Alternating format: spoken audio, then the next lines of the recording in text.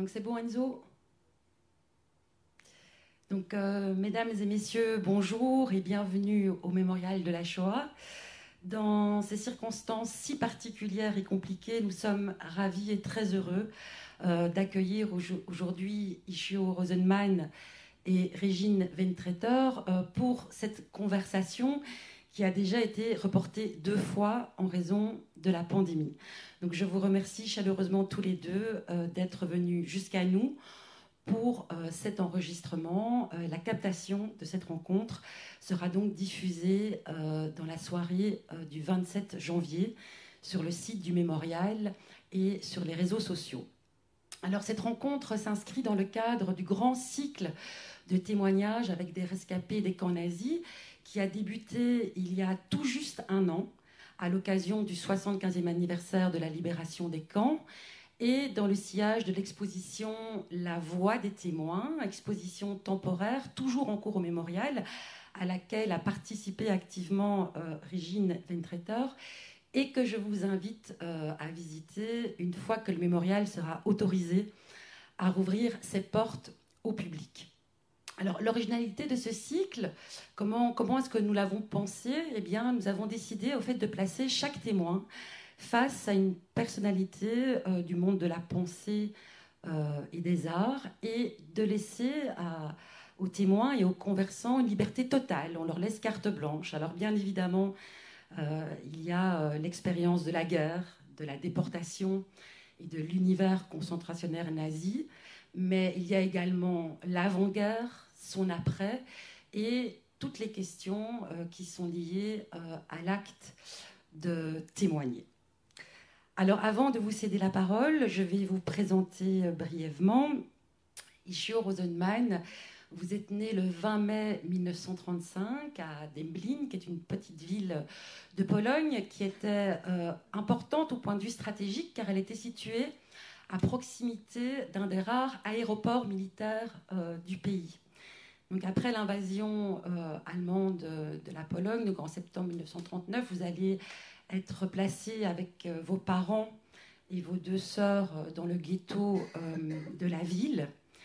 À l'été 42, au moment des grandes rafles, une partie de votre famille est déportée au centre de mise à mort de Sobibor et avec vos, deux grandes sœurs et, deux cousines, vous échappez miraculeusement pardon, à, une rafle et vous alliez être euh, euh, caché euh, par un menuisier qui s'appelait Oshika, si je le dis bien. avec votre famille, vous êtes ensuite transféré dans un camp de travail à proximité de Demblin. Et puis à l'été 44, vous êtes déporté au camp d'enterrement de Chestokova. Et c'est là que la famille est séparée. Euh, parce que chez Stokova comprenait plusieurs camps. Donc avec votre papa, vous partez dans un camp, et votre maman et vos deux sœurs euh, partent donc euh, dans un autre camp. Et en janvier 1945, face à l'avancée de l'armée rouge, vous êtes déporté donc avec votre père au camp de concentration de Buchenwald. Vous avez alors 9 ans et demi. Vous passez quelques semaines dans ce qu'on appelait le petit camp, de Buchenwald, qui était devenu un véritable mouroir, et grâce euh, à l'action de la résistance intérieure du camp, euh, vous êtes placé donc dans, dans le camp euh, des enfants, qui était le bloc 66, si je ne me trompe pas. Alors, quelques semaines après la libération du camp, votre père meurt suite, il avait contracté le typhus, et donc il meurt. Et vous allez donc être recueilli par l'OSE, donc l'œuvre de secours aux enfants. Et donc vous allez être euh, placé euh, en France dans un foyer de l'OSE. Et je terminerai là-dessus. En, janvier 1946, vous apprenez que, votre maman et vos deux sœurs euh, ont survécu à la guerre et qu'elles sont alors dans un camp de, personnes déplacées à Landsberg. Et donc vous, vous allez les, rejoindre. Ensuite, euh, ben, votre famille s'installera à, Paris. Vous allez entamer de, brillantes études. vous allez devenir physicien, faire euh, toute votre carrière au CNRS. Vous avez encore aujourd'hui euh, mené une activité militante et intellectuelle très intense. je dirais tout simplement que vous avez fondé en 1989 et vous y militez toujours avec Albert Mimi l'Association pour un judaïsme humaniste et laïque. Alors, pour mener euh, cette conversation, nous avons donc le plaisir d'accueillir Régine Weintraiter. Vous vous connaissez bien tous les deux. Euh, donc, Régine, vous êtes psychologue clinicienne, psychanalyste et euh, maître de conférence émérite de l'Université Paris Diderot. Vous êtes spécialiste des traumatismes extrêmes et des effets intergénérationnels. Vous avez participé euh, aux grandes collectes vidéo de témoignages des rescapés euh, de la Shoah, euh, menées par l'Université de Yale à la fin des années 70, puis par l'équipe Spielberg au milieu des années 90. Et depuis plusieurs années, vous avez étendu votre champ d'analyse et d'études aux rescapés du génocide des Tutsis. Vous travaillez avec des équipes de santé mentale au Rwanda. Il y a différents projets notamment ici euh, au sein de cette institution. Et parmi euh, vos ouvrages, je citerai euh, cet ouvrage essentiel, Sortir du génocide, témoignages et survivance, paru chez Payot, qui est le premier ouvrage qui interroge les effets, premier ouvrage en français, pardon, qui interroge les effets psychologiques du témoignage de personnes qui ont évidemment vécu des traumatismes extrêmes comme le sont les génocides. Donc, euh, ben, je vous souhaite une bonne conversation à tous les deux. Et bon, malheureusement, il n'y aura pas de questions au public, euh, mais nous sommes encore une fois très, très, très heureux euh, que vous soyez là aujourd'hui. Merci. Il faut appuyer sur un bouton. Le vert, oui. Ça parle quand c'est vert. C'est bon, Alors, comme vous l'avez dit, Jo et moi nous connaissons depuis plusieurs années. Mais Ijo, j'ai remarqué que tu as très peu témoigné. Et j'ai envie de te demander en préambule euh, pourquoi tu as si peu témoigné et qu'est-ce qui fait que tu acceptes, par exemple, aujourd'hui D'abord, oui. Ah. Non, non. Il appuie sur le bouton. Je vais vous donner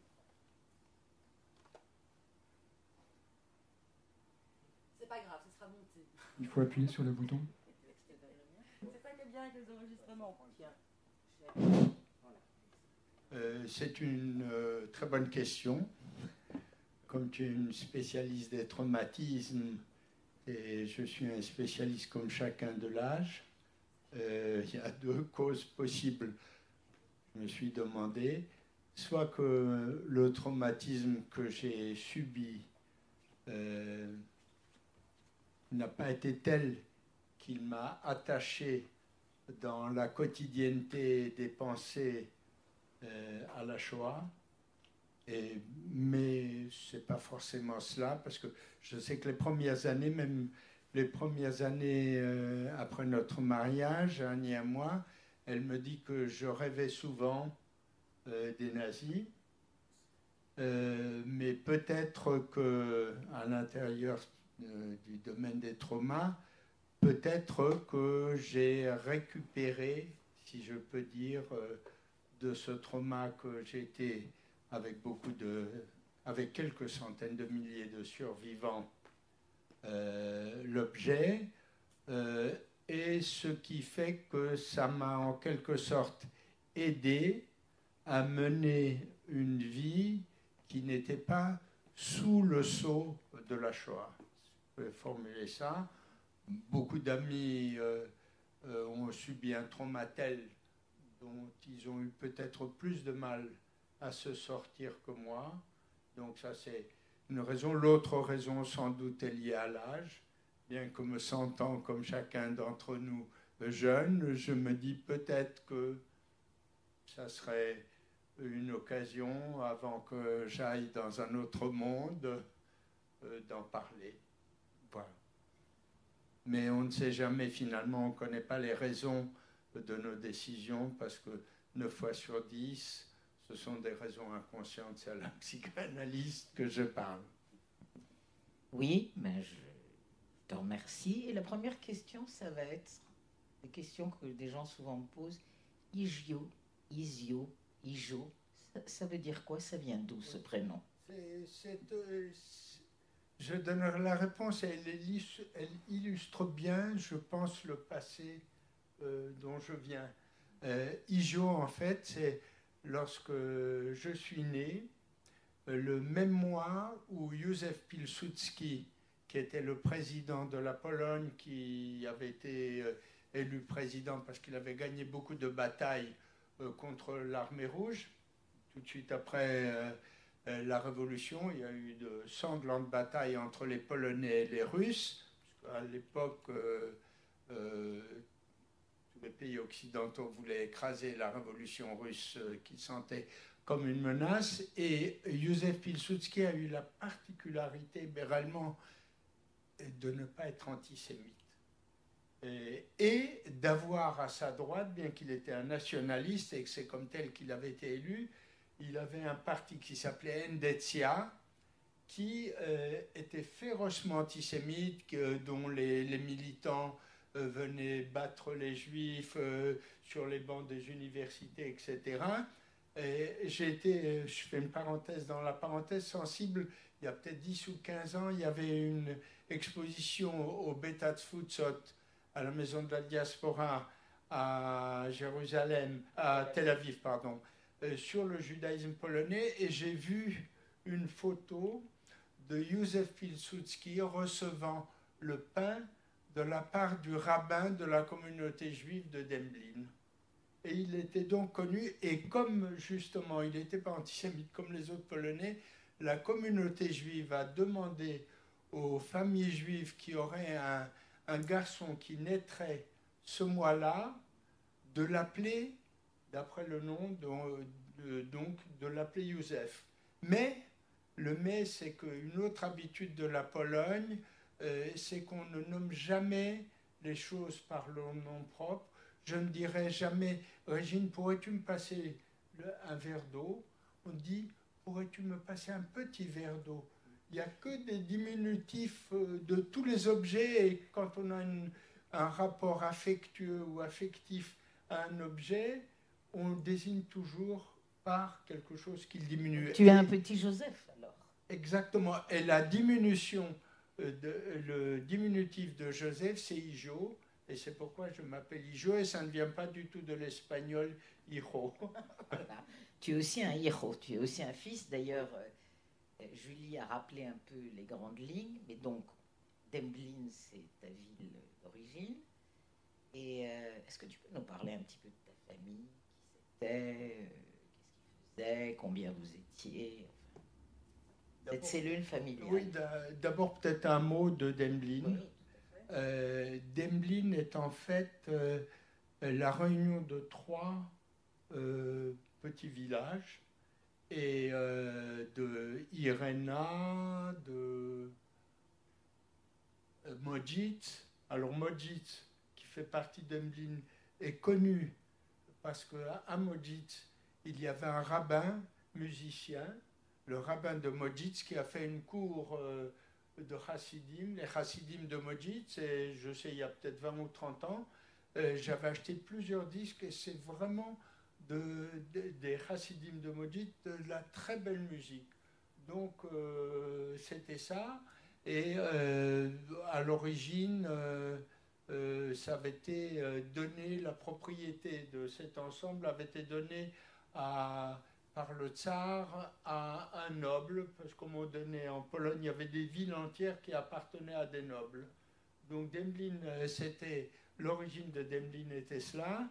Et, euh, mais à part l'origine, la réalité de Demblin, qui était un bon résumé de la réalité du judaïsme polonais euh, au début du XXe siècle, c'était une réalité incroyablement dynamique parce que le judaïsme polonais, à l'époque, était en pleine transformation, transformation d'un shtetl vers une ville. Alors, euh, ce qui a aidé notamment à la transformation, euh, Julie a évoqué l'existence d'un aéroport, et au début, dans les années 20, c'était le, lieu de la modernité, venir de, formation, une école de pilote, la seule de Pologne, et en plus, c'était un lieu qui donnait beaucoup de travail aux juifs parce qu'il fallait fabriquer les uniformes, il fallait fabriquer les, costumes pour les femmes euh, d'officiers. Donc c'était un lieu de dynamisation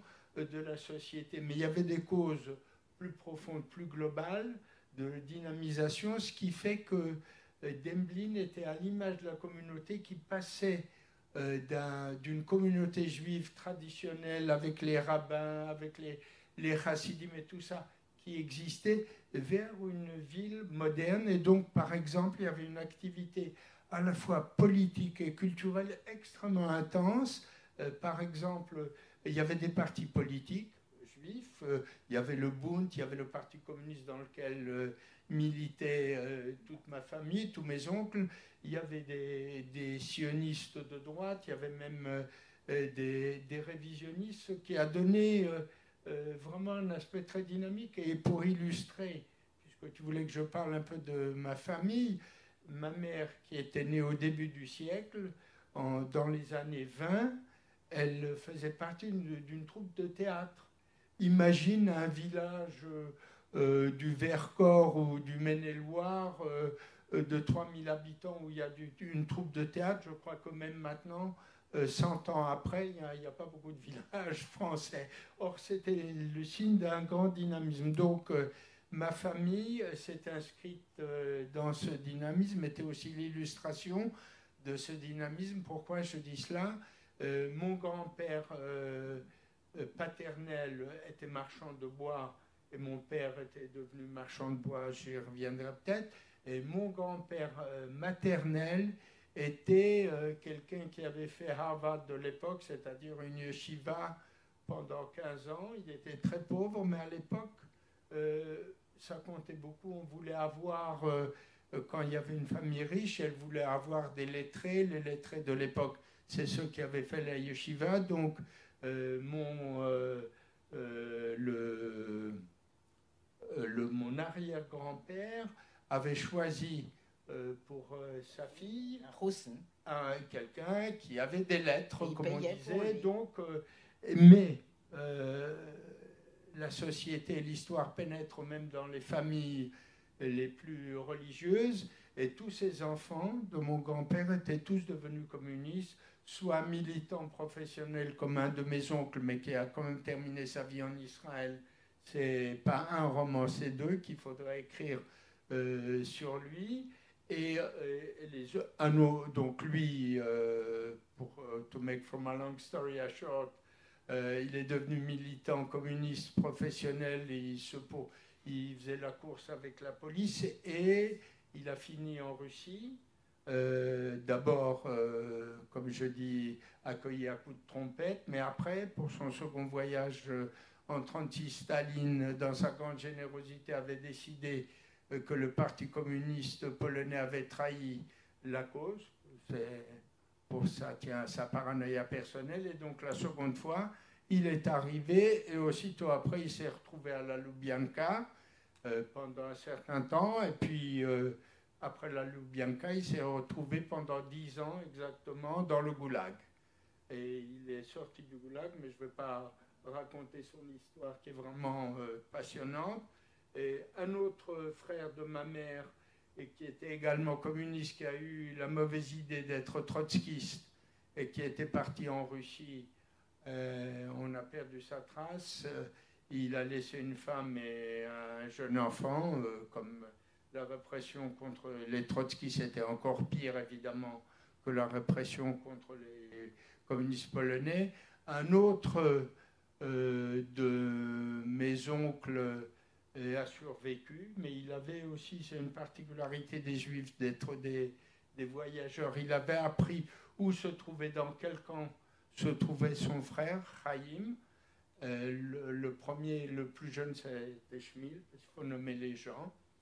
Et mon oncle Abraham, qui est resté célibataire, euh, est arrivé à faire 3000 kilomètres.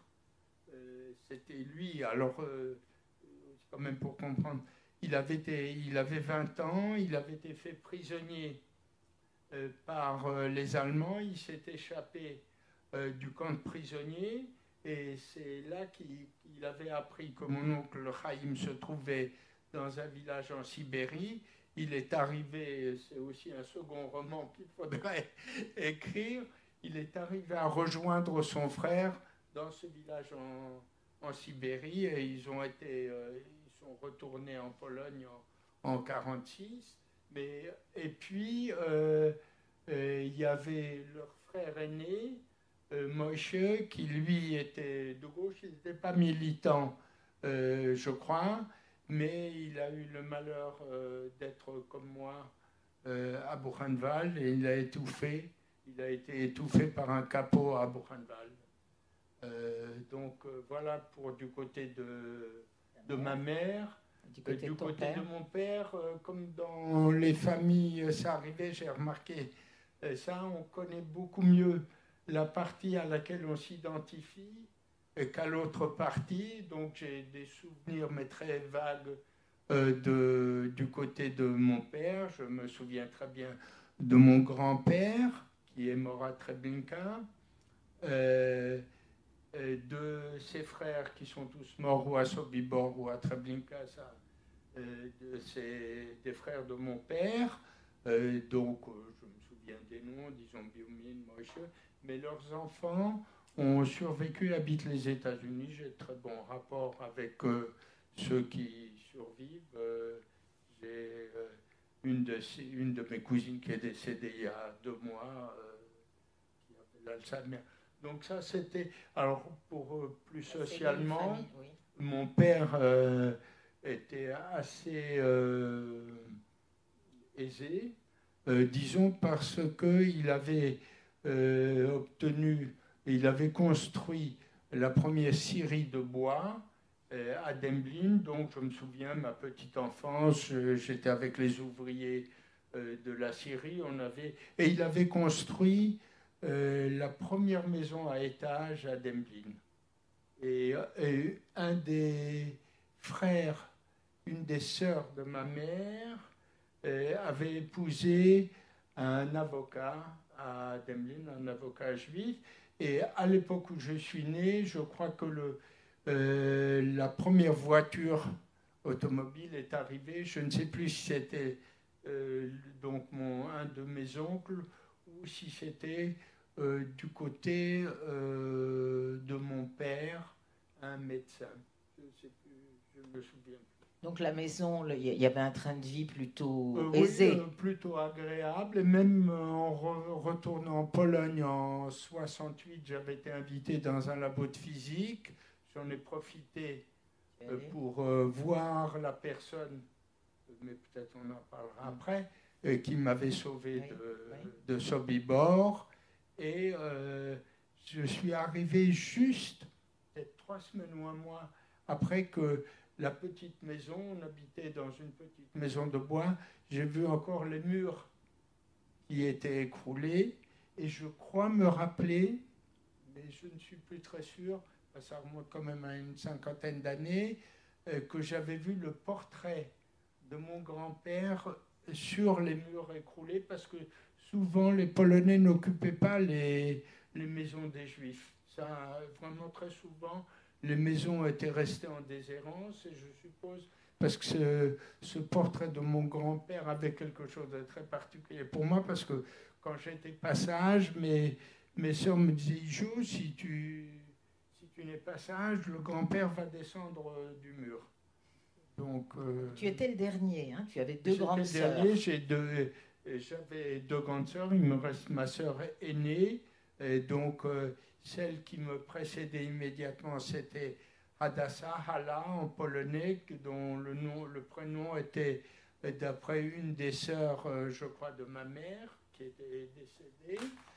Et euh, mon autre sœur, bon, elle était c'est encore une autre histoire. Il y a beaucoup d'histoires dans l'histoire. Oui, beaucoup. Je suis obligé de me contrôler moi-même.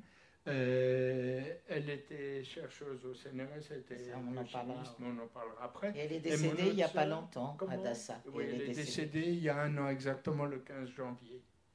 Euh, et, puis mon autre sœur, qui se trouve là en Israël euh, en ce moment, qui habite à Francfort, qui s'appelle Ida Boubis, dont le mari a été un responsable de la communauté juive d'Allemagne et qui avait été aussi président du comité du Congrès juif européen. Elle est partie juste, il y a eu une petite fenêtre pour partir de Francfort à Tel Aviv où euh, elle a sa fille et maintenant elle est très très contente tous les jours. Comme on s'appelle une ou deux fois par jour parce que j'ai subi la maladie des Rosenman qui était euh, euh, celle que ma sœur Adassa, pendant 40 ans, elle appelait, nous avons une téléphonite aiguë et chronique à la fois. Et donc euh, maintenant c'est moi qui téléphone à ma sœur euh, tous les jours. Donc vous étiez trois enfants. Le père- ta maman ne travaillait pas? Et non, ma mère ne travaillait pas, euh, puisqu'on était à l'aise, donc elle s'occupait. encore des des- souvenirs de la maison? Parce que tu étais Euh, petit. vagues souvenirs, Enfin, des de- souvenirs. euh, De les souvenirs, c'est souvent. euh, non, un souvenir physique qui me vient. Il n'y avait pas de double vitrage. Et il, fais- il faisait souvent moins 15, moins 20. Et je me rappelle les stalactites de verre euh, autour de la fenêtre euh, qui. euh, euh, je l'ai, mais je me rappelle bien de la maison parce qu'on avait aussi de la famille euh, dans la cour euh, et que j'allais voir. J'ai des petits souvenirs comme ça, mais vraiment un de mes premiers souvenirs comme enfant, c'était, il y avait ça, et il y avait, avec ma sœur Adassa, qui s'appelait Alain à l'époque, on avait enterré un petit oiseau avec toute une cérémonie, je devais avoir euh, deux ans, probablement. C'était vraiment un de mes tout premiers souvenirs. Vous parliez quelle langue à la maison? Alors là aussi, c'est le signe de la transition dans la communauté juive. On était des juifs modernes, comme on dit dans, dans la maison, euh, parce que, euh, donc après je dirai pourquoi, c'est que ma mère et mon père nous parlaient polonais, parce qu'ils voulaient qu'on soit des bons citoyens polonais. Ils imaginaient qu'on serait plus tard avocat ou médecin. euh, mais entre eux, ils parlaient yiddish. Donc, euh, les chansons euh, d'enfance de ma mère, qui avait une très, très, très, très belle voix de soprane, c'était des chansons en yiddish. Donc, j'avais déjà une sorte de double culture potentielle, bien que le polonais, je l'ai pas beaucoup pratiqué, que je n'avais pas été à l'école. euh, mais euh, Tu le comprends encore? Comment? Tu le comprends? Oui, alors après, c'est une autre histoire parce que c'est 50 ans après, quand ma mère est devenue vieille, elle avait des dames polonaises qui se sont occupées d'elle. Et euh, une, je me souviens, m'a offert un dictionnaire français-polonais. Et quand ma sœur Adassa est devenue vieille, elle a eu un peu de déficience. euh, Cognitif oui. cognitive, comme on dit. Euh, ce sont des dames polonaises qui Mhm. s'occupaient d'elles, qui se relayaient. Donc j'ai eu l'occasion de pratiquer le, le polonais. Mais Quel est ton premier souvenir du début de la guerre, enfin, le moment où ça commence? La guerre, vraiment, enfin, le, j'ai deux souvenirs qui se suivent probablement de quelques jours, à mon Oui. avis, ou quelques semaines. Le premier souvenir, c'est vraiment un souvenir extrêmement visuel. Hein? et auditive, c'est le bombardement. Parce que là, il faut que je précise que Demblin, comme c'était il y avait l'école d'aviation, on a eu droit le premier jour, le 1er septembre, à 3-4 jours de bombardement absolument incessant, incessant jour et nuit. Et donc, dès qu'il y a eu le bombardement, les Juifs, une partie des Juifs, se sont réfugiés.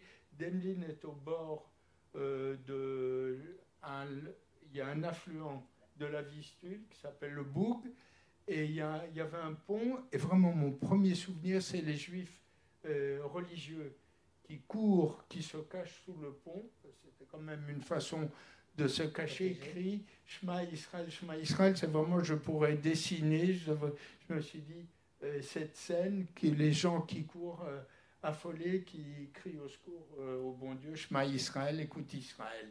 Et le deuxième souvenir qui vraiment se lie immédiatement, c'est que vu cela, on, a, on est parti de Demblin, se réfugier dans un autre village qui est probablement à 10 ou 15 kilomètres euh, de Demblin, et on est parti la nuit, et mon oncle, euh, celui qui est mort à Buchenwald, que j'ai évoqué au début, m'a pris à l'arrière, comme j'avais 4 ans, il faut dire euh, 4 ans et quelques mois, il m'a pris à l'arrière de son vélo, et ma, mon père et ma mère et mes soeurs marchaient, et je me souviens réellement, la route était enflammée. À droite, il y avait le feu.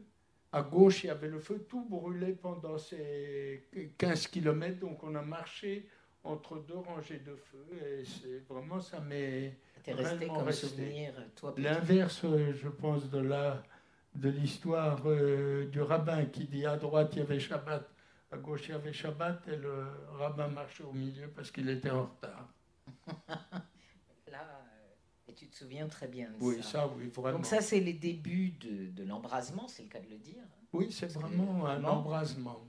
Et vous êtes restés euh, ensemble, mais il y a eu... Euh, tu as failli quand même... Euh, Julie a rappelé que tu as échappé à une première déportation. Ah oui. Donc en quelle année on Alors, euh, la première déportation devait être en 42, je pense. Alors là, on l'a vraiment échappé. On n'a pas été déporté parce que euh, le, la Syrie était un lieu de travail qui fabriquait des planches, donc qui était utile aux Allemands. Et mon père avait vendu la Syrie à un de ses associés euh, polonais pour une bouchée de pain parce que les Juifs n'avaient pas le droit. D'être propriétaire, mais il continuait quand même à diriger euh, la Syrie. Donc on habitait, euh, la maison était dans la cour de, euh, de la Syrie. Et, mais le deuxième, la deuxième déportation, là, Demblin devait être Judenrein, et en même temps avait été ouvert, je crois, trois camps dans la, dans, à Demblin. Et donc, tous ceux qui ne travaillaient pas étaient déportés automatiquement à, à, Belzet, euh, dans à Sobibor, je crois. Et euh, là, alors il s'est produit un miracle qui n'en était pas un, mais qui était quand même un miracle parce que euh, au moment où la déportation s'est produite, on a réuni tous les juifs, à peu près un, millier de juifs qui devaient rester. Il y avait 3 3 4 3500 juifs qui habitaient la Pologne euh, avant euh, la guerre. Qui habitaient Demblin, tu veux Comment? Dire Qui habitaient, euh, qui habitaient à Demblin, excuse-moi. Et au moment où on était dans une grande queue, une grande colonne qui attendait d'être déportée, il y a le chef des pompiers qui était très ami avec mon père. Ma soeur m'a dit qu'il était aussi employé, parce que être pompier dans une petite ville, ce n'était pas un full-time job.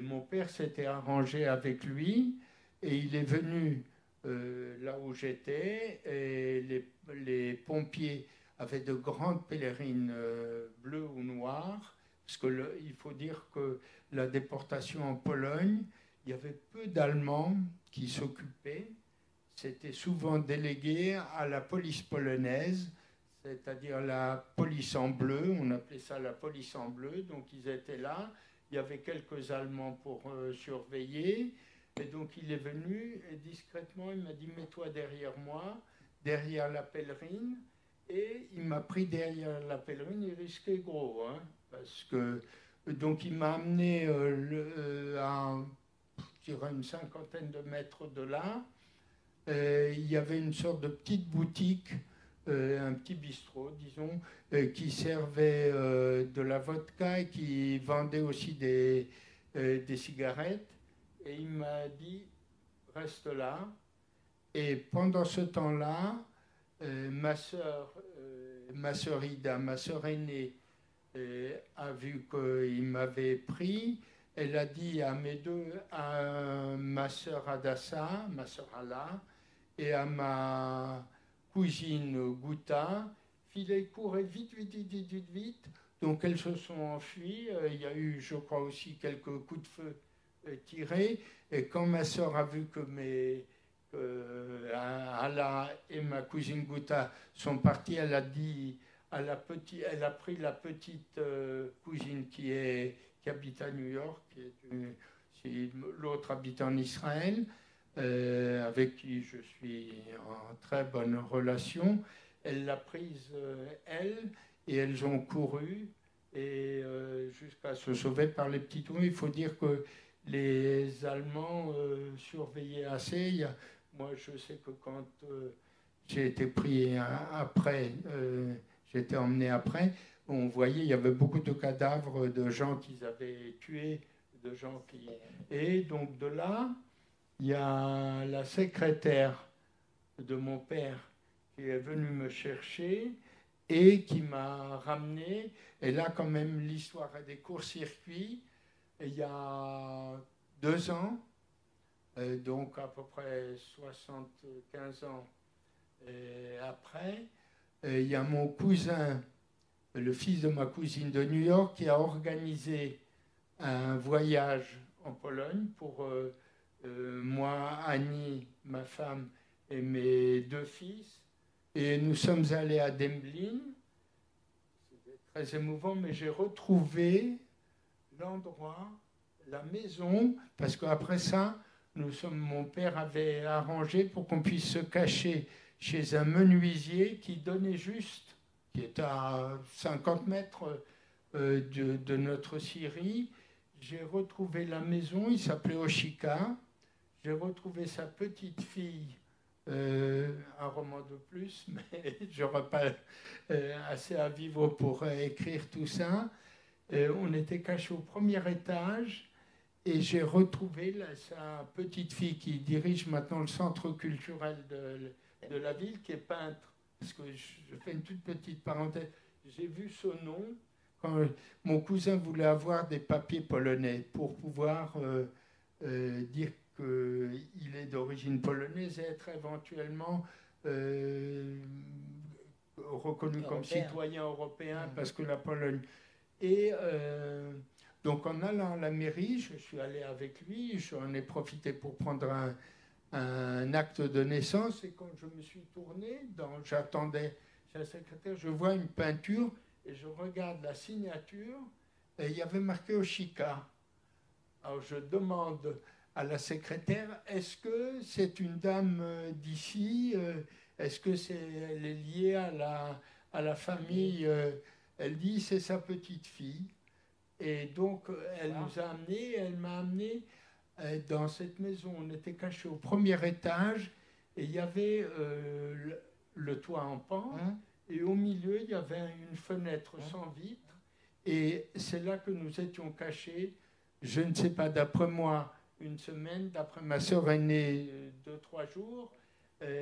et on regardait tous les matins la Wehrmacht qui défilait au pied, parce que cette maison était au bord d'une route, on se cachait elle chantait, je me rappelle comme aujourd'hui, Highly High Low, qui était le, chant. Donc, après 75 ans, j'ai vraiment retrouvé l'endroit.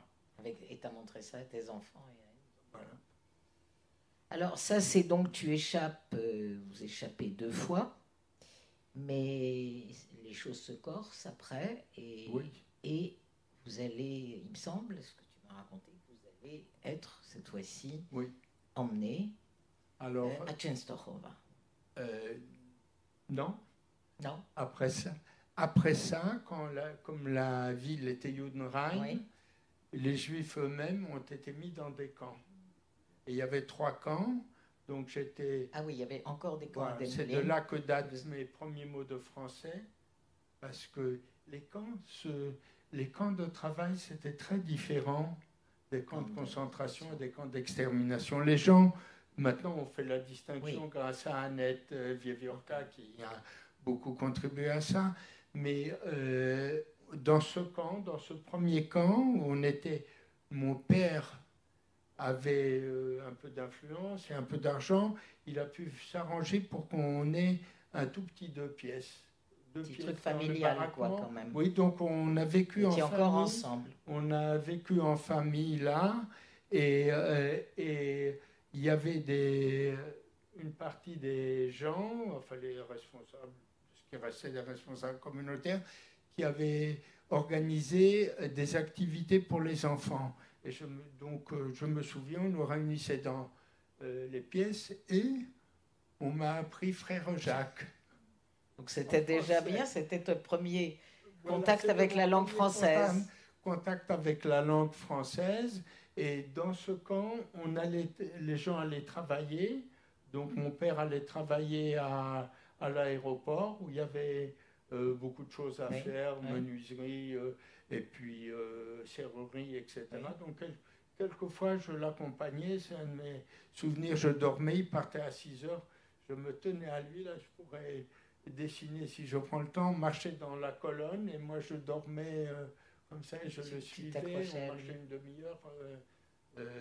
mais de, là, le front avançant, donc le, le directeur du camp, le responsable du camp, qui était un juif viennois, c'est pas à son honneur, a non mais ce que je dis elle n'est pas à son honneur, il est arrivé à trouver en payant euh, le, responsable, euh, je ne sais pas si c'était un SS ou un type de la Wehrmacht, l'officier allemand qui dirigeait le camp, est arrivé à obtenir un train pour, quand on entendait, on nous a évacués, quand euh, on entendait déjà les coups de canon euh, russes, on nous a évacués sous le, bruit des canons de euh, Et ce que j'ai lu, euh, c'est que il avait peur de représailles. Alors vrai ou faux Et donc lui-même, il a été évacué avec nous euh, que s'il avait été libéré, c'était un peu comme les capots. Fait la peau. Euh, voilà. Mais euh, je ne sais pas exactement la véracité. Là, vous avez été séparés. Là, il y a une grosse différence, parce que c'est ça aussi qu'il faut faire comprendre, je crois, à la génération actuelle, c'est que ça allait vraiment de mal en pis. Parce qu'au début, il y avait les ghettos, mais les ghettos permettaient aux gens de vivre, de, et même d'aller à l'école aux enfants. Il y avait beaucoup de ghettos. Et puis il y avait les camps de travail, certains où on pouvait faire, où on pouvait jouer de l'influence. Je veux dire que l'impuissance des personnes allait croissant. Comme une vis, qui est un tour des tours de vis. Euh, voilà, au qui se resserre. quand on changeait de camp et quand on est arrivé à Częstochowa, là, on nous a vraiment séparés. Et là, c'était aussi là, c'était le miracle d'une certaine façon, parce qu'il y avait eu un premier départ vers Częstochowa, nous étions le second euh, départ, et dans le premier départ, il y avait eu 20 enfants qui ont tous été fusillés. Et on a eu d'une certaine façon une chance, c'est que la femme du commandant du camp de Częstochowa était enceinte. Et ça lui faisait mal au cœur qu'on tue tout de suite des enfants. Donc ça, plus l'argent aidant, parce que les Juifs avaient ramassé un peu d'argent en le donnant, euh, ça nous a permis de survivre, mais on a été séparés. Euh, mon père et moi d'un côté, et mes sœurs et ma mère de l'autre côté. Donc là, c'est déjà... Euh, et là, donc, c'est encore une autre histoire. Vous êtes séparés et vous restez combien de temps à peu près Alors, c'était l'été. C'était l'été 44. 44.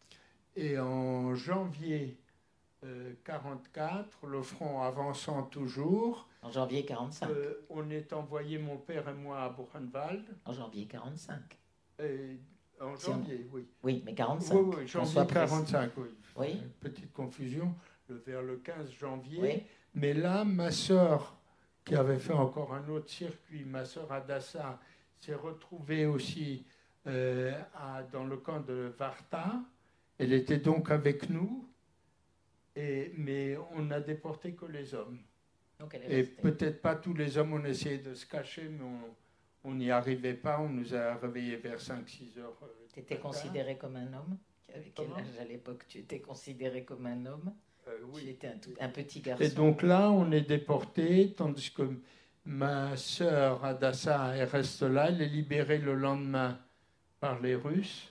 Donc il suffisait de se cacher pendant une journée euh, pour, pas continuer. pour ne pas aller. Et euh, mon autre sœur Ida et, ma mère, elles ont suivi un chemin complètement différent par Bergen-Belsen, Dachau, etc. Donc tu es avec ton père, tu arrives à Buchenwald. Oui, et il faut dire que euh, Buchenwald que cet hiver-là, il faisait très très très froid. c'est mes premiers souvenirs, c'est dans le train. Je me souviens que le, d'abord on était dans des wagons ouverts et je, j'imagine qu'à peu près la moitié des gens sont morts de froid et parce qu'il neigeait aussi. On était en janvier. Je ne sais pas comment moi j'ai fait pour survivre, j'en sais rien. Et euh, le voyage a dû durer 3-4 euh, jours parce que à l'époque déjà les voies étaient souvent détruites, mais comme on sait que les convois déportés avaient priorité, donc on se retrouve à, Buchenwald et mon père avait amené, je me souviens deux choses, il avait amené dans le train, parce qu'à Częstochowa, il y avait encore un semblant de vie. C'était un camp, on travaillait, mais, mais ma sœur Adassa euh, travaillait dans une usine d'armement qui jouxtait le camp, à trier les balles, et puis elle se rappelait ces dernières années qu'elle s'occupait beaucoup de moi, euh, elle me lavait, je me rappelle, il y avait un robinet juste dans le mur euh, de l'usine d'armement. donc là, nous arrivons et donc mon père avait amené un carton dans lequel il y avait les photos de famille. Parce que chacun, d'une certaine façon, gardait encore ses illusions, je pense, parce que en fait, personne ne pouvait imaginer l'étape d'après, que l'étape d'après serait pire que, l'étape d'avant. Donc il avait amené ça, et puis il avait amené une montre à gousset. Je me rappelle Sima, il avait toujours sa montre et euh, quand on est arrivé, au moment où on nous euh, enregistrait, on nous euh, lavait dans un bain des, désinfectants, mon père était sorti, il avait enterré la montre. Il s'est dit peut-être que je pourrais la récupérer. Donc là, ben là, on nous, on nous désinfecte, on nous sélectionne, pas au sens d'Auschwitz, pour aller et euh, on nous donne des habits. Moi, c'est dans les photos que j'ai toujours des habits, une veste qui, fait 30 centimes, dont les manches font 30 cm de plus que moi, parce qu'il y avait, il y avait quand même peu d'enfants. À l'époque, euh, il y avait quand même déjà, au moment de la libération, je crois qu'il y avait 30 000, 30 000 détenus, parce que les gens arrivaient d'Auschwitz, euh, comme Elie Wiesel, etc et on nous donne des habits, on nous distribue dans des blocs. Et, là aussi, c'est différent. On monte toujours dans l'horreur. Euh, on nous amène dans le camp de quarantaine. Il y avait trois camps à Buchenwald. Il y avait le grand camp, euh, où il y avait une quarantaine de blocs. Euh, puisque dans le camp intermédiaire, c'était les blocs 53 à 59, je crois. Il y avait 4-5 blocs. Et puis ensuite, dans l'autre, quand on allait, c'était à partir de 60. Et euh, ce bloc de quarantaine, euh, là, c'était la vraie sélection qui se faisait parce que les gens mouraient. Euh, il n'y avait rien. Il y avait ces quelques blocs. J'ai le souvenir un petit peu. Bon, je suis revenu à Buchenwald 50 ans plus tard. Mais les gens mouraient très très très vite. Mon père y a survécu, mais en attrapant le typhus. Il est mort euh, au moment où on l'a évacué, et tout de suite après, après la libération. Euh, il a été évacué directement vers euh, l'infirmerie qui, était, qui a été faite dans d'anciens blocs des SS, qui étaient des blocs en dur, des maisons à dur. C'était trop tard. C'était trop tard. Et moi, heureusement, euh, très vite, je pense peut-être 15 jours euh, ou 3 semaines euh, et après notre arrivée, la résistance m'a prise et m'a mise dans le bloc d'enfants qui était le bloc 66, qui est une histoire vraiment à part, parce que je pense que c'est la seule histoire dans la Shoah où il y a eu un bloc d'enfants. Il était plus clément, ce bloc? De quoi Oui, oui, alors le, il faut faire une toute petite incise dans l'histoire, euh, c'est que Buchenwald avait été créé, je crois, en 1937 pour les opposants euh, politiques à Hitler.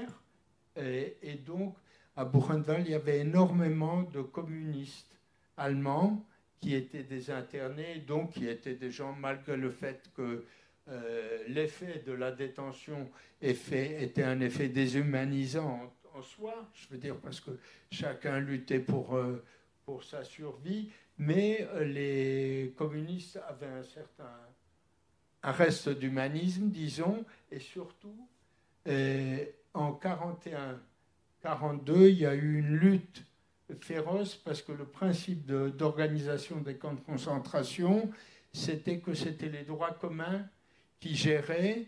Euh, et la conséquence de ça, c'est que la mortalité était beaucoup plus grande et surtout l'imprévisibilité. C'est une des caractéristiques, je crois, des camps.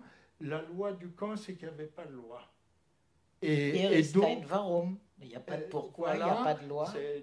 Hier ist kein Warum, mais euh, les, euh, après cette lutte sanglante, c'est les, les, politiques qui ont pris l'organisation en main.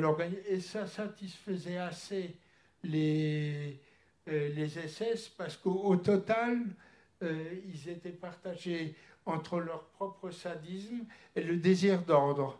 Donc les, les, politiques avaient la capacité d'organiser le camp euh, correctement et de ce fait ils disposaient d'un grand pouvoir et euh, ils nous ont mis, euh, ils ont créé un bloc d'enfants à la direction duquel ils ont mis un résistant tchèque, un type formidable et on a eu donc droit au fur et à mesure de l'arrivée des jeunes venant d'Auschwitz, venant d'autres camps, euh, on a eu droit à un régime spécial, majeur à mon avis.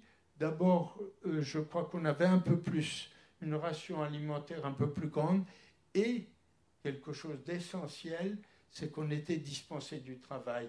Par moins 20, et on n'avait pas de manteau de fourrure, c'était une condition de survie. Euh, Qu'est-ce que vous faisiez alors? Tu te eh souviens de la ben, vie? Comment, comment un jeune de ton âge temps, J'ai lu, j'ai lu qu'on quelque part on m'a dit qu'on jouait. Et euh, la capacité des enfants à inventer des jeux est infinie parce que j'ai lu un livre, je ne me rappelle plus le nom, je l'ai, sur les jeux d'enfants dans les camps de concentration. C'est le nom m'échappe. Et, euh, où il a eu des témoignages comme quoi même euh, dans les camps d'extermination, pendant le temps qui restait, les jeunes inventaient des, des jeux. Et vraiment un livre euh, extraordinaire. Donc je pense qu'on jouait parce qu'on restait tout le temps, on ne sortait pas parce qu'il faisait trop froid. Et tu as des souvenirs de ça? Tu vois des images? par toi au camp euh, Elie Wiesel se souvenait de moi dans le bloc. Il me disait je, je m'étais occupé de toi, parce qu'on était restés très amis après.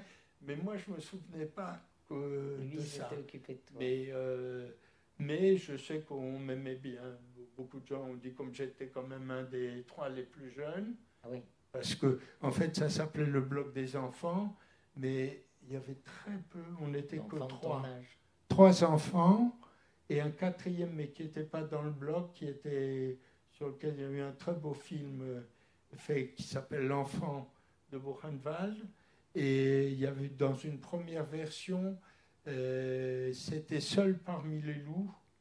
Et c'est un ancien détenu politique de Buchenwald qui était resté donc euh, huit ans à Buchenwald, qui, et qui a écrit un livre parce que c'est un enfant, c'est vraiment extraordinaire, qui avait été amené, euh, comme il y a euh, les, gens, c'est une histoire peu connue, euh, un enfant qui avait été amené au camp dans une valise par quelqu'un qui n'était pas son père, par quelqu'un qui avait promis au père de l'enfant de Varsovie, je crois qu'il est de s'occuper de cet enfant et il avait été amené directement, comme les valises étaient amenées directement au Canada, c'est-à-dire ce grand bloc où euh, on stockait les habits, il avait été amené directement là-dedans et quand ils ont ouvert les détenus qui, avaient un régime assez agréable. Je veux dire, il y avait eux,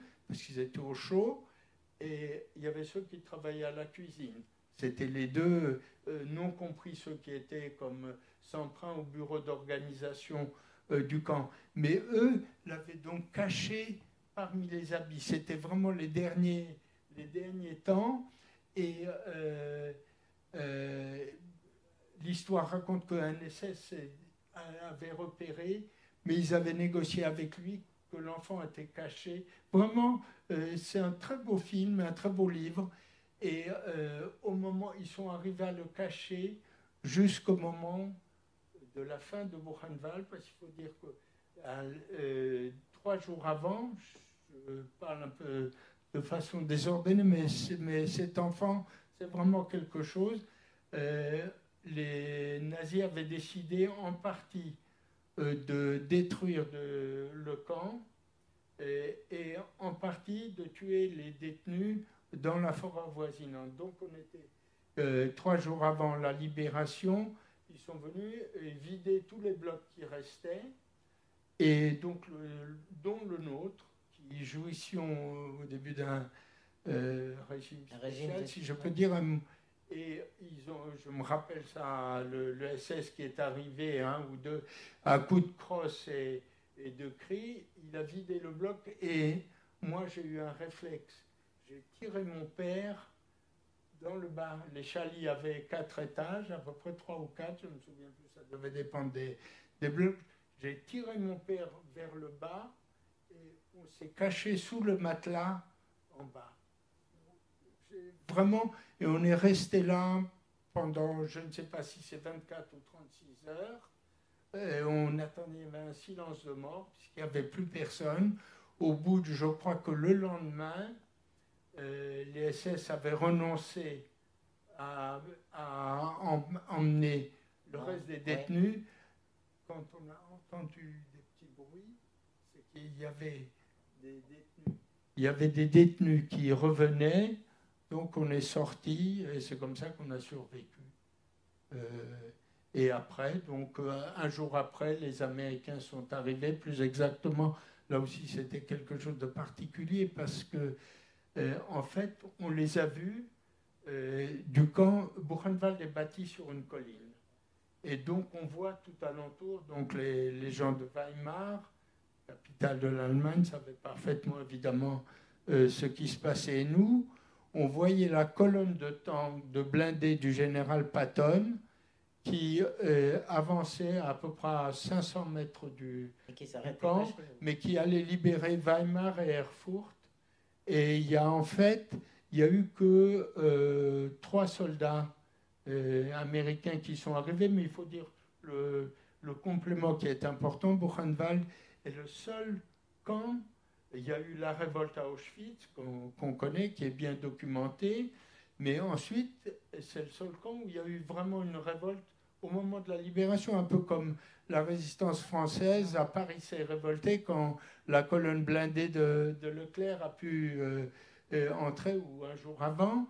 Euh, donc les, les, les, politiques, il y avait une organisation de résistance armée, ils avaient fait venir des fusils, enfin il y avait quelques fusils et des grenades, et ils ont donc, au moment de cette libération, les détenus, je reviens juste, les détenus sont arrivés à cacher euh, cet enfant qui était là, et donc il a survécu.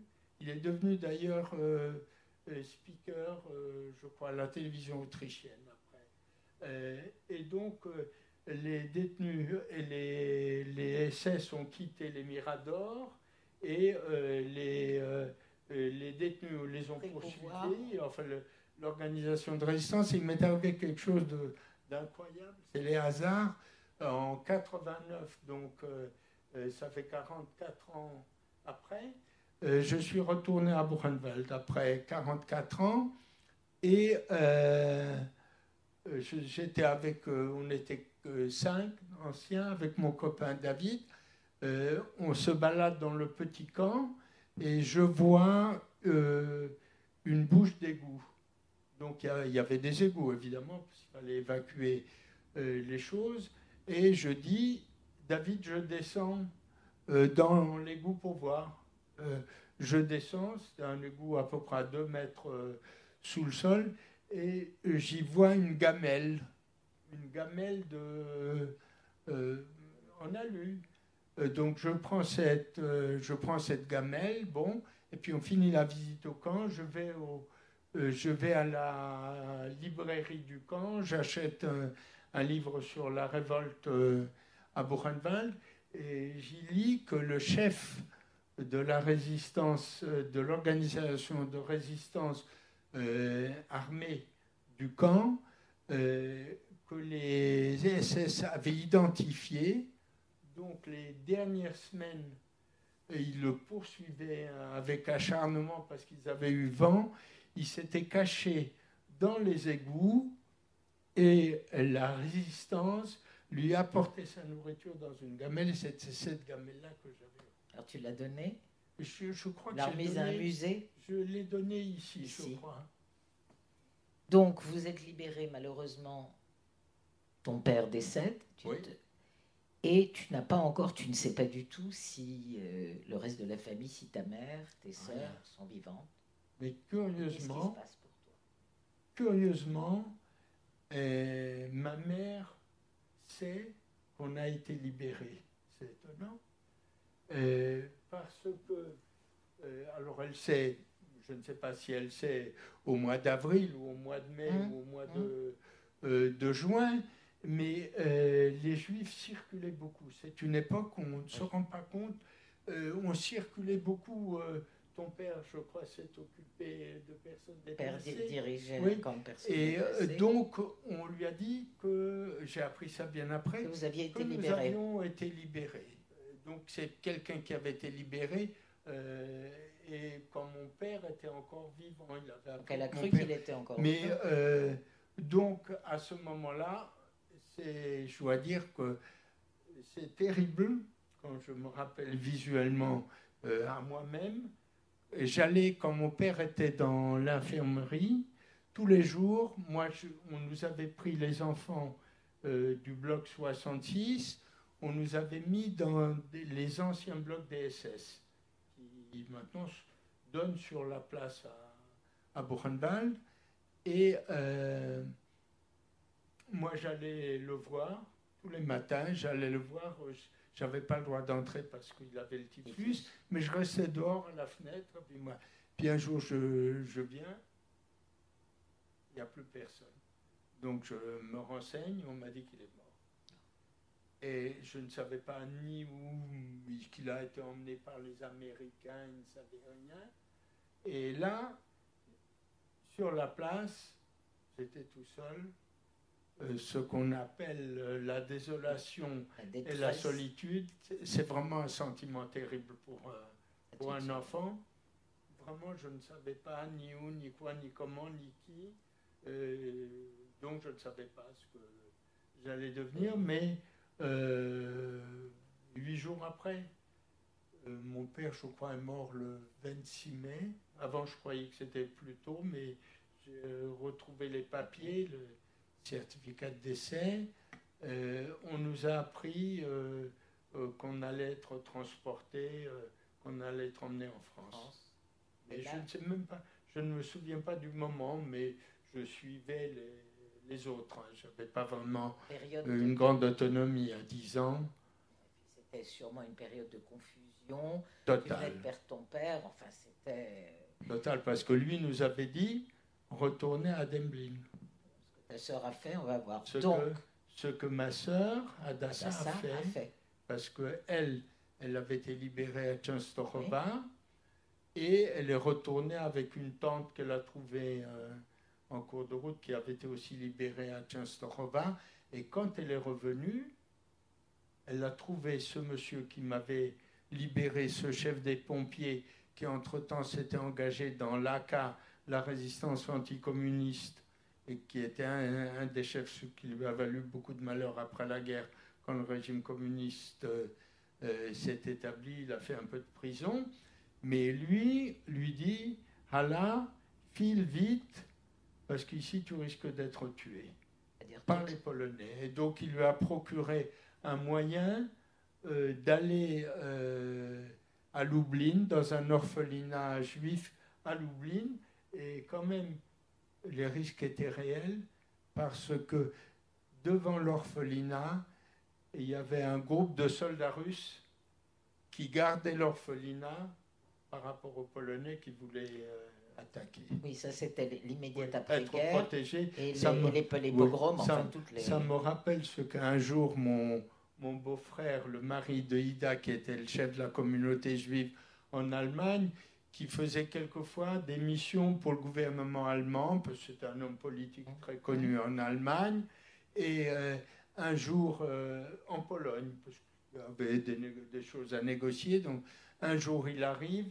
il est escorté euh, par des gardes du corps allemand, le- sa voiture était très officielle, etc. Et il arrive et, les Polonais, des journalistes polonais lui disent, écoutez, ça vous fait quoi n'avez pas peur de revenir en Pologne Alors il dit non, tant que je suis gardé par mes gardes corps allemands, ça va. absurde de la situation. Donc ta sœur se retrouve dans un orphelinat à Lu- à Lu- à Lublin. Ta mère et Ida, ton aînée, se Oui. trouvent où à ce moment-là? Dans un camp de personnes déplacées. À, À Landsberg, Et toi, tu pars pour euh, la Et- France et. Auparavant, oui, moi je pars en France pour euh, mais entre-temps, ma mère avait su Que... que, ma sœur était dans un orphelinat. Donc elle l'a récupéré. Elle est arrivée à la voir et elle l'a récupérée, donc toutes les trois, elles étaient Et en fait à toi, est-ce que tu savais, quand est-ce que tu as su que ta mère et tes deux sœurs étaient en vie? Écoute, je pense que j'ai su tout de suite, en, tout de suite non, mais en janvier 46. Dès que j'ai su et l'osé s'est débrouillé pour que je puisse euh, aller leur rendre visite. Donc je suis parti, euh, je pense, en janvier. Et vous euh, vous êtes pas trouvés février. réunis tout de suite comment? Mais il a fallu, tu m'avais dit, trois ans pour que vous soyez Alors après, Réunis. j'étais là-bas, là-bas.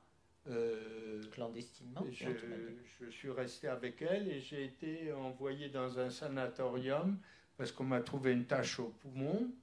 Donc je suis resté l'été euh, au sanatorium probablement deux ou trois mois et je suis revenu en septembre euh, dans la maison d'enfants dont j'étais parti. Mais entre-temps, euh, entre-temps, il y avait eu un dispatching qui a fait que l'OSE, ce qui était judicieux, a regroupé les, les enfants, non pas en fonction de leur origine, mais en fonction de leur âge. Donc, euh, ceux avec qui j'étais, les gens de ma classe d'âge, se trouvaient au château de Corbeville, près d'Orsay. Et donc, euh, en revenant, je suis allé au château de Corbeville. Et c'est là que j'ai entrepris les démarches pour que l'OSE puisse obtenir un visa pour euh, ma mère et mes sœurs. Tu avais des souvenirs formidables de ces séjours à Lozé, d'un personnel formidable. Ah oui, C'est ce que tu m'as dit quand on s'est Ah, vu pour vrai. préparer cet entretien. Tu as dit il y avait des femmes là-bas, des personnes Ah, formidables, et j'ai je- des souvenirs formidables. non seulement au moment où je suis arrivé, mais pendant tout le temps. Et je crois que euh, ben, d'abord, euh, la personne qui s'est occupée, qui a probablement retrouvé, il y avait deux personnes à l'OSE qui s'occupaient de ce qui était appelé le regroupement familial. Euh, il y avait Madame Mazour, qui était une dame très noble. Elle était vraiment euh, very distinguished, comme on dit. Et puis il y avait Madame Mintz, qui était une femme formidable. Je suis resté en contact euh, avec les deux jusqu'à leur mort, mais Madame Mintz avait, elle considérait les enfants de Buchenwald comme ses propres enfants. Vraiment, et elle est décédée en Israël. Elle a assisté à mon mariage en Israël. Et, et c'est peut-être une des raisons pour lesquelles je n'étais pas parti en Israël dans les années 47. C'était peut-être elle, parce que c'était une militante du Bund. Dans mes souvenirs, à l'époque, Bund, probablement, elle un m'a- passionniste. elle m'a dissuadé, euh, voilà. Et euh, après, il y avait eu encore un autre départ, ça je l'ai lu, euh, après la création de l'État d'Israël, juste en 48, Euh, non, en 47. C'était pour le départ de l'Exodus. Oui. Euh, mais à ce moment-là, je savais déjà, et Losé savait évidemment que ma mère euh, vivait, et il me fallait donc une autorisation de ma mère pour partir. À l'époque, la poste ne marchait pas très bien, et donc les gens étaient partis, et le- je ne sais plus si ma mère avait autorisé ou non, mais la, la réponse de ma mère était partie après, le, départ. Et ce départ, en fait, c'était le groupe des gens, dont certains euh, de maison d'enfants, des amis à Oui. moi, de Buchenwald, Oui. qui étaient partis sur l'Exodus. Et donc, avec. Une, euh, une aventure de plus que tu as ratée. Alors, une autre mal. personne qui est. Deux autres personnes, quand même, qui étaient formidables. Trois, quatre autres personnes, parce que les gens ne survivent que. les. Non, mais ne survivent que si on les mentionne. Euh, c'est celui qui m'a appris l'hébreu. Je suis, j'ai toujours une émotion particulière quand je parle l'hébreu. C'était Carmi, qui est devenu un des grands poètes qui est parti en Palestine juste après, euh, juste avant euh, le vote de la résolution de l'ONU qui crée. Euh, la Palestine, euh, l'État d'Israël, donc en 47. Et lui, pendant un an et demi, euh, il était notre euh, éducateur. Et moi, comme il m'avait à la bonne et je l'avais à la bonne, tous les matins, nous prenions trois quarts d'heure d'hébreu avant le début des classes. Les classes commençaient à au petit déjeuner, je pense, vers 8h, 8h15. Moi, comme j'ai toujours été un lève-tôt, vers 7h15, 7h30, je venais dans sa chambre. Et lui avait la particularité inverse de la mienne. Moi, je me levais tôt. Lui, il adorait dormir. Et je me mettais au pied de son lit. Restant, il était encore au lit, mais c'était notre éducateur. Et on apprenait l'hébreu. Et j'ai lu des années pour plus tard, mais c'est une autre histoire, qu'il n'avait plus assez. Ma volonté d'apprendre l'hébreu était tellement forte qu'il avait consommé tous les livres d'hébreu qu'il avait et il était obligé d'écrire à des amis euh, pour qu'ils lui envoient des livres d'hébreu. Voilà, il y avait Il Carmi avait cette pe- cette et il y avait deux autres personnes qui étaient des personnes formidables, qui étaient les directrices et des jeunes femmes de euh, 20 ans à l'époque. Euh, Il y avait anciennes Buchenwald qui avaient 20 ans aussi, même 22 ou 23 qui se faisaient passer pour 18. Euh, et c'est grâce à elles que, bien que étant issu d'une famille de, juifs laïcs et communistes pour une, grande partie d'eux, euh, je suis devenu religieux parce que elles m'ont rac- raconté ça peut-être 40 ans après. Quand on nous dispatchait entre religieux par religieux, elles sont dit l'une à l'autre euh, Nini, l'une on l'appelait Nini et l'autre Judith, tu trouves pas que ces deux-là seraient magnifiques avec une kippa sur la tête? C'est comme ça que vraiment je me suis retrouvé entre acquis. 10 ans et 18 ans dans des maisons d'enfants religieuses, ce qui a fait que je connais Tu connais bien. bien les- les- l'hébreu, le Talmud, le- tout ça, parce que j'ai appris euh, Oui. tout ça avant de devenir un Même juif si tu es devenu, devenu un juif laïque, ça fait pas de mal de connaître Quoi tout ça. Même si on est un juif laïque, c'est une chance de connaître Oui, tout ça. Absolument, la plupart sont ignorants. Oui, et là, toi, tu. C'est pour euh, ça que quand j'avais des discussions avec euh, des gens, je disais attention, je ne suis pas un amaret, c'est-à-dire un, ignorant, mais je suis un apicoros, un es un épicurien. incroyant. un- Voilà, oui, c'est vrai.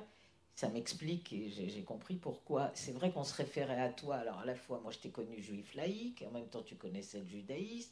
Très bien. Alors, je me suis dit, ça suffit pas de la maison, parce que vu l'âge que tu avais, Oui, oui. t'as pas pu. Et puis, j'ai appris après que non. Donc, tu as reçu une sérieuse. Et des années après, Éducation. d'ailleurs, des gens qui étaient en maison d'enfants, en deux, qui me disaient Ijo, euh, on a ton âge, mais c'est toi qui nous as préparé à la bar mitzvah. Donc, tu as eu des années dont tu te souviens avec, avec bonheur. Ah oui, absolument.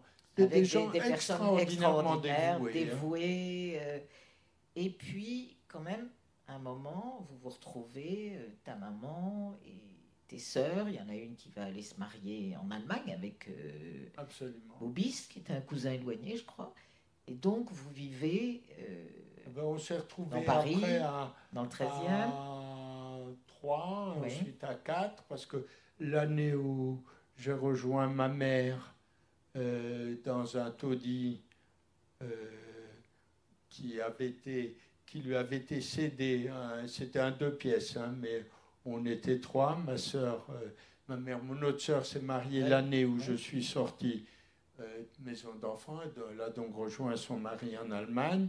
Mais après, il y a mon oncle en 56, mon oncle qui est venu de Pologne, qui est venu habiter avec nous dans un grand fauteuil. Et euh, dans euh, cette euh, petite cour, il y avait un WC pour toute la cour, à la turque, donc, et de l'eau sur le palier. Mais après, c'est devenu un peu mieux. Comment ça a été de se trouver? Attends, et je dis ce, ce, ce, petit appartement avait été cédé à ma mère par un juif polonais qu'elle connaissait qui était parti construire le socialisme en Pologne. On n'est pas à une contradiction près. Comment ça a été de se retrouver? Tu te souviens de vivre, de vivre à nouveau ensemble après ah, tout ce que tu avais vécu euh, oh, On s'est retrouvé avec beaucoup de bonheur et, euh, on a eu tous pas de, vraiment pas de frottement. On avait euh, vécu vraiment une vie où on est resté très, très lié. L'approche téléphone tous les jours à ma soeur en Israël. Euh, et, Adassa, euh, quand elle faisait ses études, euh, et moi aussi, puisqu'elle avait eu un peu de retard, parce que. Et moi aussi, j'ai mis les, les, pieds la première fois, j'avais 11 ans à l'école, donc j'ai dû rattraper un peu vite tout ça. T'es bien rattrapé. Et, et des gens croyaient que Adassa était ma fiancée. On était toujours ensemble au quartier latin. Et vraiment, donc on s'est toujours euh, mhm. très proche, bien qu'on n'avait pas du tout les mêmes idées. Vraiment, absolument pas, parce que jusqu'à 18 ans, jusqu'à 23 ans, 24 ans, disons, j'étais très religieux, alors que mes sœurs étaient totalement laïques. Et, et ma sœur Ida me rappelle qu'en Pologne, on allumait le sapin de Noël. Donc c'était vraiment une famille très laïque. Hein. Et donc tu as fait tes études, tu m'as dit à Maïmonide. Oui. Mais et, tu avais l'idée de ce que tu voulais faire? Comment? Une Tu savais ce que tu voulais faire Alors, Je vais te raconter comment, euh, comment on, est un self-made man. et oui, c'est vraiment le hasard. De la même façon que je suis devenu vraiment par le hasard de la parole performative de mes deux directrices, je suis devenu religieux. Alors quand j'étais en maison d'enfants, il y avait quelqu'un qui était un peu plus âgé, qui devait avoir 4 euh, ans de plus que moi, 4-5 ans, et qui euh, euh, avait fait des études et qui avait fait Supélec. Et moi, évidemment, j'avais jamais entendu ni qu'il y a les ponts et chaussées, ni qu'il y a l'école normale supérieure, ni... je me suis dit plus tard, je ferais Supélec. Comme je ne savais pas du tout. J'étais au lycée, je ne savais pas du tout parce qu'il faut dire que les maisons d'enfants, ça les gens ne sont pas très conscients, c'était un lieu très fermé. Les gens étaient très gentils, mais culturellement, c'était vraiment un lieu fermé. On ne savait rien. De temps en temps, on sortait euh, les plus les aînés, mais les religieux, les maisons d'enfants religieuses étaient encore plus fermées que les autres. Donc, on ne savait pas grand-chose. On pouvait lire, comme j'étais très religieux, je ne lisais pas. Je me rappelle euh, le roman que j'ai lu, Regain de Jean Giono, ça devait être, je ne sais pas pourquoi, ça me revient à l'instant, mais euh, mon temps, je le consacrais aux études religieuses. J'étais très bon, j'étais très bon élève, excellent élève. L'année, je me rappelle cette histoire, l'année où j'étais l'adolescence à ses propres lois. Donc, il y a une année où j'étais moins bon au lycée, le directeur euh, m'a dit Bon, euh, il a dit à ma soeur qui était avec moi pendant deux ans il a dit Bon, votre frère travaille pas bien cette année, on va l'envoyer à l'Orte, euh, qui était l'école professionnelle. Alors, ma soeur qui avait le sens de la répartie, et il y avait les trois enfants du directeur qui était en maison d'enfants, il a dit Écoutez, monsieur le directeur, envoyez d'abord votre fils cadet à l'Orte et on verra après pour mon frère. Parce que je travaillais mieux que lui. Donc tu te retrouves à tu prépares Supélec sans euh, savoir quand je vraiment, sors, euh, quand je sors de, tu- euh, de, je fais le bac, euh, le premier bac, le deuxième bac, ma sœur, euh, en tant que mes copains de Maïmonide, en tout cas deux copains, euh, on les a inscrits au lycée Saint-Louis, au lycée Louis le Grand, au quartier latin. Elle entend Louis, oui. un Louis, elle n'est pas un Louis près. Elle confond Saint-Louis et Louis Louis le le Grand. Grand. Donc elle m'inscrit à Louis le Grand. Non, à Saint-Louis. Euh, Elle m'inscrit à Saint-Louis. Donc je suis séparé de mes mais- copains, ce qui fait que euh, l'un a fait Polytechnique et l'autre a fait l'école des mines. Et moi, j'avais jamais entendu évidemment, puisque j'étais pas. euh, je suis après le bac à Saint-Louis, je m'inscris en classe préparatoire à Supélec. J'avais entendu Supélec, Supélec, mais j'étais pas assez bon pour être admis en seconde année, donc on me met dans les écoles d'ingénieurs, euh, euh, les ENSI. Et donc j'ai dit non, j'ai pas envie parce que je veux faire Supélec.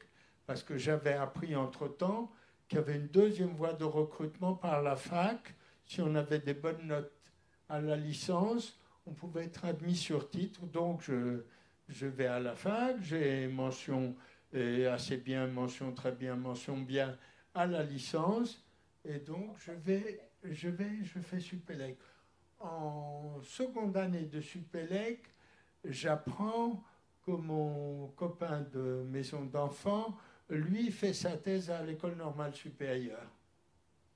Je dis, tu peux m'arranger un rendez-vous avec euh, ton patron euh, de ton qui m'arrange un rendez-vous. Son patron, c'était Kastler, et qui est prix Nobel de physique. Donc, en seconde, vers la fin de la seconde année, je vais voir Kastler. Ça se passe très bien. Il dit très bien, pourquoi pas? Et euh, après, il me dit, bien sûr, vous êtes français. Je dis non, monsieur, je suis polonais. Alors il me dit, ah là, c'est franchement battant. Mon quota d'étrangers est déjà rempli. Il me dit, mais allez voir au bout du couloir, il y a Aigrin, qui était aussi quelqu'un d'assez bon puisqu'il allait devenir ministre de la Recherche. Euh, je vais voir Aigrin et je lui dis, écoutez, il me dit, j'ai pas de poste au CNRS, mais j'ai d'autres postes. Je viens d'ouvrir un groupe de recherche à Fontenay-Rose. Voilà, je suis à la Fontenay-Rose, et donc voilà, et puis j'ai fini. Mais en Par fait, tu as fait énormément de choses parce que c'est là que je raccroche avec ta carrière. Tu es même un collègue à moi puisque tu as fait. Oui, j'ai fait. Comment tu as fait tout ça Qu'est- Qu'est-ce qui te pousse? Bah, Tu as fait psychoclinique, Oui, tu es devenu psychanalyste, tu as continué, tu as fait ta carrière au CNRS comme chercheur. oui, Tu as fait de l'anthropologie. oui. Tu, es allé à Orsay, Bah. tu as suivi euh, les, les cours de, Ben, je de vais te dire quoi. pour devenir, pour être dans le leadership des, des euh, dirigeants. euh, et puis tu avais toute cette formation. Qu'est-ce que, qu'est-ce que c'était cette Ben, soif et je pense que à une psychanalyse, je dirais que toutes les racines euh, prennent racine vraiment dans l'enfance. Eh ben, euh, l'illustration de ce que Carmi disait que j'avais une soif de savoir. Et alors, ça me rappelle que dans les années peut-être 68, 69, euh, on avait fait avec euh, trois, euh, chercheurs euh, physiciens au CNRS un petit groupe de travail où on se réunissait une fois par mois. Pour tous avaient fait une analyse comme moi, qui était en cours d'analyse à l'époque, pour essayer de trouver qu'est-ce qui nous pousse à faire de la recherche. Mhm. On avait tous conclu que c'était vraiment la curiosité de l'enfance. Euh, On appelle la pulsion heuristique. la- Dans notre jargon, Exact- on va mettre un mot de jargon. exactement, et que la, véri- la vérité, c'est que je me satisfaisais jamais de. Donc, quand, et c'est drôle parce que la première année où j'ai commencé à mon travail de chercheur, je me rappelle, j'avais un, un ami euh, qui est un ami de l'EGF, qui était sociologue au CNRS, qui m'avait parlé, qui suivait les séminaires d'Alain Touraine. La première année, euh, j'ai fait laboratoire buissonnière et je suis allé suivre les séminaires, euh, les séminaires de Touraine. Et puis après- Mais la curiosité, tu ne l'as pas perdue? Non. C'est peut-être ton secret, parce que. Absolument. Alors, on va, on s'achemine vers une conclusion, mais comme tu dis, il faudrait deux, trois, quatre romans ou deux, trois, quatre entretiens, au moins. Moi, je suis prête à continuer hein, avec Ijo. Euh... moi aussi, je t'adore. mais quand on se voit, on se parle des heures. Ça là, c'est un peu public, mais euh, je... bon, la morale de cette histoire, je ne vais pas te la demander, mais si tu devais dire, au fond, toi, enfant, ce qui t'est resté et ce que tu en as retiré ou ce qui t'a entamé. Tu as formé une famille, tu as ta femme Annie que tu as rappelé, tu as tes deux enfants, euh, Gabriel, euh, David et Gabriel.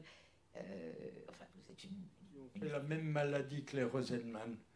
Ils ont fait des études, de... une série d'études, et, puis après, une autre, puis après encore autre, etc. Alors, il y, y, a quelque chose de un gène Rosenman de la curiosité, de, du toujours apprendre, hein, lernen, il faut toujours étudier. Tu as fait passer ça du côté laïque.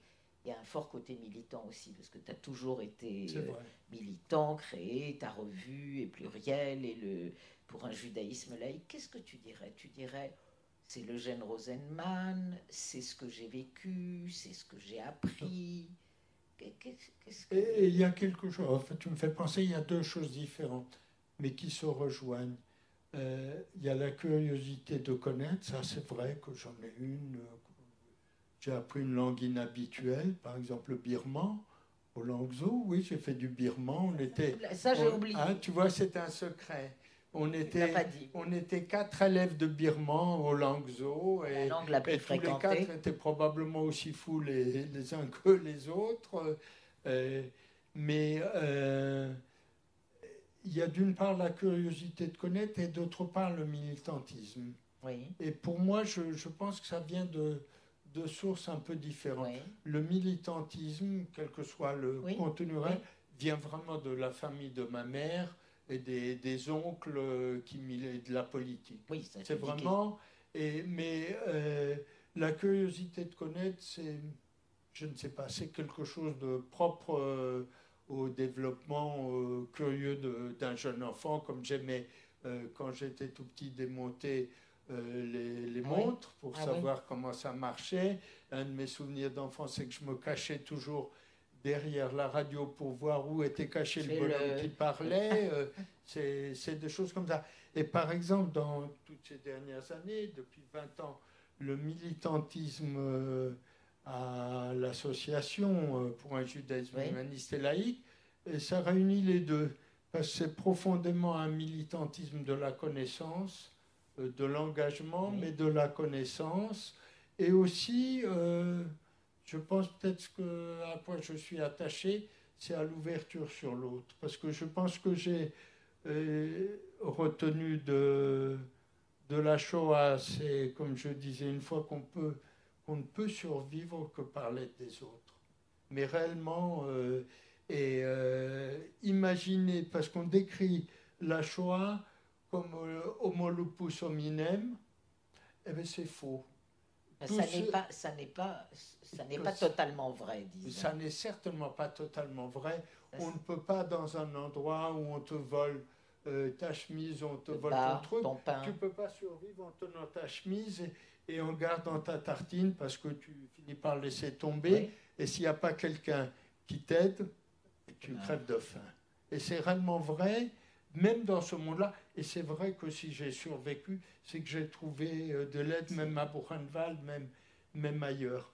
Et, euh, et l'autre chose, c'est, je pense, le militantisme, parce que le militantisme, c'est quand même essentiellement une ouverture sur l'autre. Et je, je prends l'association pour prendre un exemple. En, en un mois, la semaine dernière, il y a quelqu'un qui m'écrit parce qu'il veut acheter deux numéros euh, de revue, les deux derniers. Euh, le, dernier, c'est Le Juif et l'autre, tu vois. Et un numéro d'avant, je ne sais plus si c'était sur la peur ou les intellectuels juifs. je lui dis, bon, il, me fait un virement, et puis il m'écrit, parce qu'il il voulait un numéro qu'on a fait sur les juifs et la politique, l'engagement politique des Juifs. et il était épuisé, ce qui est très agréable d'avoir un numéro épuisé. Donc je lui dis, choisissez. Il m'écrit un petit mot et il me dit, je dois vous préciser que je ne suis pas juif. Euh, je dis, content. Deux, deux, mois avant, il y a une femme qui m'écrit une très longue lettre très émouvante. Elle est infirmière à Épinal, très longue lettre de quatre pages, pour me dire je ne suis pas juive, mais je m'intéresse beaucoup, j'ai lu tout ce qui est apparu sur l'histoire, sur, euh, sur la Shoah. Je voudrais me rapprocher des juifs, mais je ne suis pas religieuse. Alors je lui dis, euh, pour moi, euh, est juif celui qui se choisit juif, celui qui se sent proche à un titre ou à un autre, soit de l'histoire, soit de la, de la culture juive. Et donc elle dit, est-ce que je peux adhérer à votre association J'ai dit, bien sûr. Il y a, je lui dis, euh, celui qui est le responsable de notre rencontre euh, mensuelle autour des livres, euh, qui s'appelle Jean Simonin, n'est pas juif.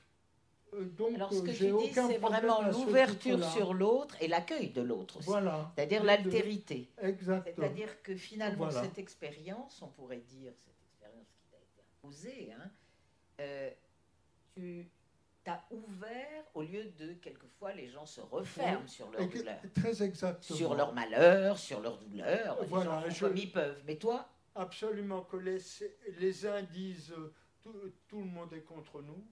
C'était le maître mot de la politique israélienne pendant 50 ans. On va pas commencer, nous, non, mais on comprend parce qu'il y avait les, des rescapés de la Shoah. Le sentiment d'isolement est un sentiment très fort. Mais je pense qu'il faut le traverser pour se dire réellement, pour survivre au malheur, il faut tirer des liens avec les autres. Et tu as eu peut-être la chance aussi de rencontrer. Je, Alors, je, ben, je voulais terminer et j'espère ne pas avoir été trop intrusive ou trop indiscrète avec mes questions.